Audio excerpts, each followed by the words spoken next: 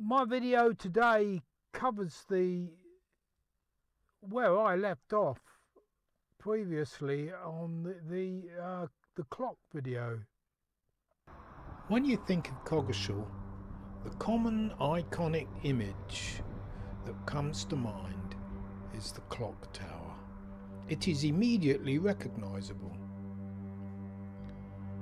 Consider the age of the clock, which has been running in its current form since 1888. In 2023 terms, that makes it 135 years old. But the idea hidden in its mechanism is even older 442 years. I'm talking about the pendulum.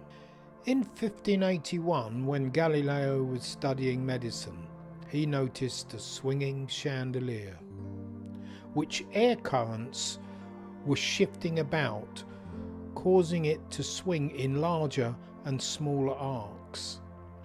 To him, it seemed, by comparison with his heartbeat, that the chandelier took the same amount of time to swing backwards and forwards, no matter how far it was swinging. Galileo conducted several experiments with pendulums. It is popularly believed that these began by watching the swings of the bronze chandelier in the Cathedral of Pisa, using his pulse as a timer. Galileo claimed that a simple pendulum is isochronous, i.e., that its swings always take the same amount of time independently of the amplitude. In fact, this is only approximately true. Galileo also found that the square of the period varies directly with the length of the pendulum. That is, the shorter the pendulum, the faster it swings. Towards the end of his life, Galileo designed a clock escapement based on his findings. But he never got to actually build it, although his son did.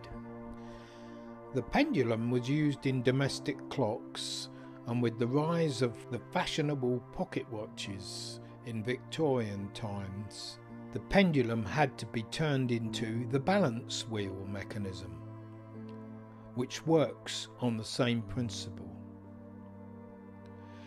In the Coggeshall Museum, there happens to be a railwayman's watch on display.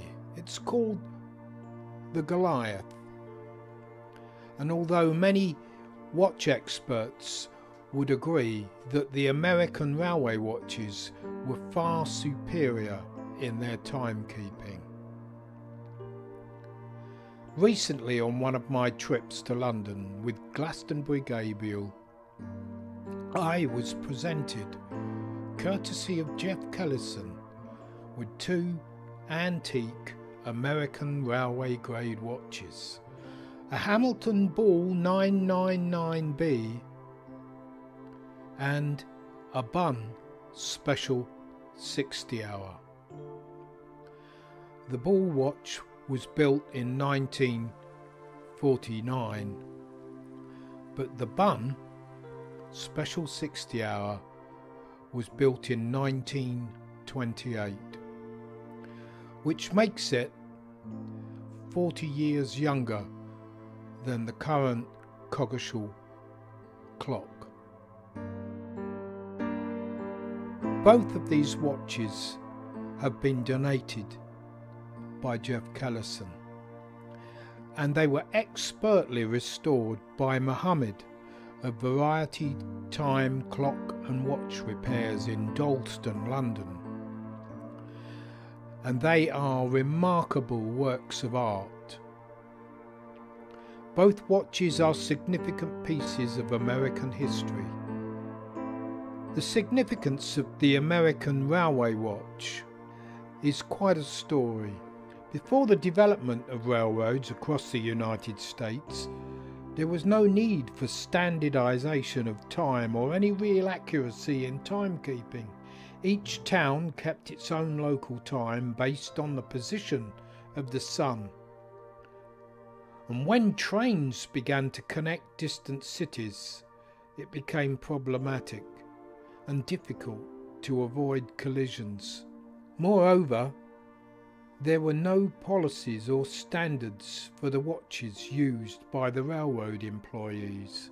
On April the 19th, 1891, a head on collision between two trains in Kipton, Ohio, resulted in several deaths. At the time, trains were using the same single lines in opposite direction and had to cross each other at a defined crossing point at a certain time. That day, one of the conductor's watches had stopped for four minutes, leading to the fatal collision.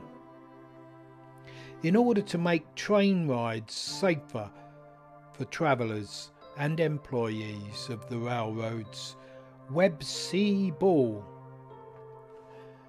who one of the watches was named after, was designated Chief Time Inspector.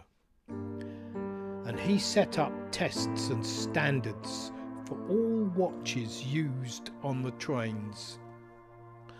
John W. Bunn developed a very close friendship with the statesman and lawyer Abraham Lincoln.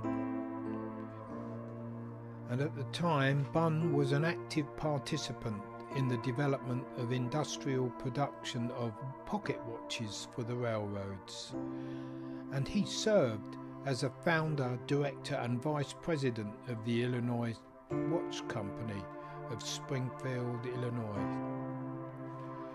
A railroad chronometer or railroad standard watch is a specialized timepiece that was, cru- was crucial for the safe and correct operation of trains in many countries.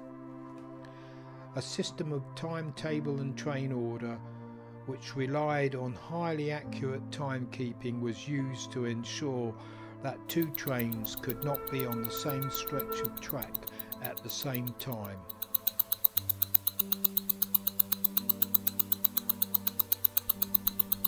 I bought both of these watches home on a train from London and it's good to have them in Coggeshall under the watchful eye of the Coggeshall clock.